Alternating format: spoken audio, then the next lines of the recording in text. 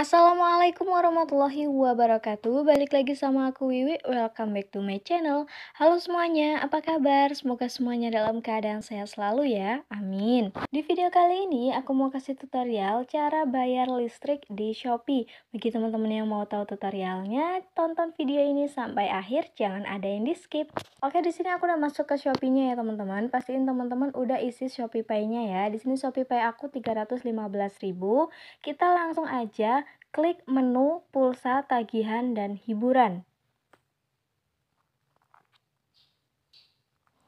Kemudian di menu pulsa tagihan dan hiburan ini kita pilih tagihan listrik PLN.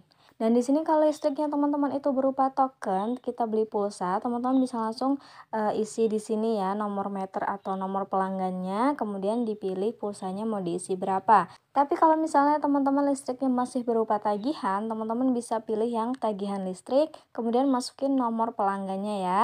Di sini aku mau masukin nomor pelanggannya ini, kemudian pilih lihat tagihan.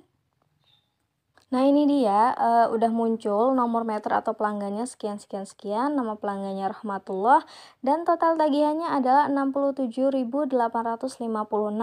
Ini udah beserta biaya admin plus biaya penalti. Jadi sekarang udah tanggal 21 ya teman-teman. Jadi aku telat bayar listriknya, telat satu hari dan ada biaya penaltinya sebesar 3000 Tapi kalau teman-teman bayar listriknya itu di bawah tanggal 20, teman-teman nggak akan ada biaya penalti ini ya. Oke langsung aja kita pilih lanjutkan. Di bagian checkout ini teman-teman bisa masukin voucher. Kalau misalnya ada voucher dari Shopee, biasanya di sini ada pilihannya. Tapi kebetulan di sini lagi nggak ada voucher dari Shopee ya, jadi kita back aja. Kemudian kita juga kalau punya koin Shopee bisa ditukarkan. Di sini koin aku ada 1814. Jadi karena cuma 1000 aku nggak tukerin ya. Kemudian metode pembayarannya ini Shopee Pay. Oke, setelah itu kita langsung klik bayar sekarang. Masukin pin Shopee teman-teman ya. Pembayaran berhasil, oke. Nah ini dia, jadi uh, aku udah bayar listrik sebesar 67.000 Kita bisa lihat rincian pesanannya.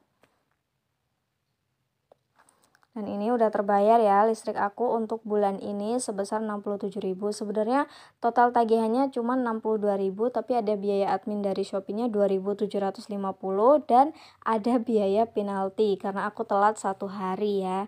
Oke, jadi seperti itu cara membayar listrik di Shopee. Semoga bermanfaat ya teman-teman. Jangan lupa like, komen, dan share video ini. Dan jangan lupa subscribe juga channel ini. Oke, terima kasih. Sampai jumpa di video aku selanjutnya. Dan wassalamualaikum warahmatullahi wabarakatuh.